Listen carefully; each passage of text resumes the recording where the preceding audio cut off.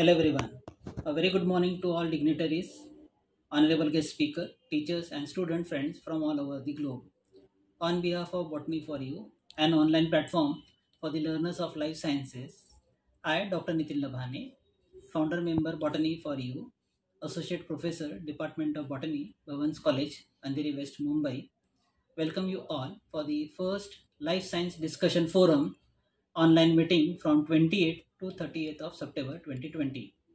I am thankful to my team of Botany for You who has given me the opportunity to introduce the guest speaker Dr. Vilas Parkhi, research scientist and group leader at Mahyco Private Limited Jalna, India, who has consented to give the innovative talk on crop improvement using genome editing technologies.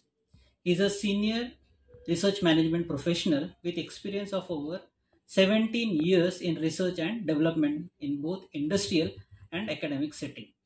He did his PhD, he did his masters from Nagpur University, followed by PhD from Pune University in collaboration with International Rice Research Institute Philippines, for which he was awarded the fellowship. His past appointment includes uh, principal scientist at Advanta Limited, Hyderabad, the postdoctoral uh, degree from Institute of Plant Genomics and Biotechnology, Texas A&M, USA from 2009, uh, 4, 2005 2009, and he also worked as a researcher at Central Institute of Cotton Research, Nagpur. His research area includes crop, uh, crop transformation, gene editing, plant pathology, molecular virology, application of CRISPR-Cas for crop transformation, experienced in overall management of research projects and organization, is proficient in the areas of crop transformation including rice, cotton, tomato, sugarcane and mustard and GM crop regulatory affairs. The total research output citation is more than 700, H index of 12.